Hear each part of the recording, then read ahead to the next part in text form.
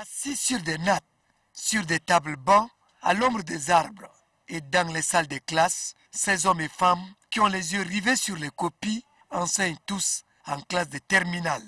Pour un travail objectif, ils lisent attentivement les copies avant d'attribuer une note. Pour cette phase de correction, l'Office national des examens et concours du supérieur ONEX a retenu 1800 correcteurs et 600 vérificateurs. Le travail avance très bien. Les candidats n'ont pas, n'est-ce pas, des écritures lisibles.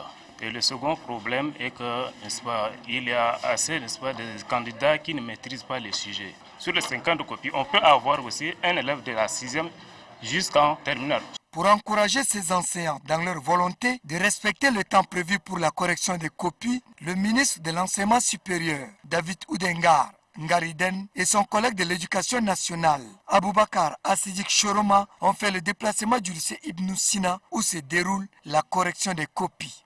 Dans l'ensemble, tout se passe euh, très bien dans la mesure où euh, des dispositifs euh, ont été mis en place pour permettre à ce que les corrections se fassent dans d'excellentes conditions. En effet, il y a deux séries de corrections. Une première correction par le correcteur et ensuite les vérificateurs vérifient les copies pour s'assurer que le correcteur a affecté une note objective et non pas subjective. Avant d'arriver à l'ONEX, le ministre de l'Enseignement supérieur et son staff se sont rendus d'abord à l'ONEX pour voir la méthode de la sécurisation des copies avant qu'elles soient emballées et envoyées au lycée Ibn Sina pour la correction dont la durée est d'une semaine.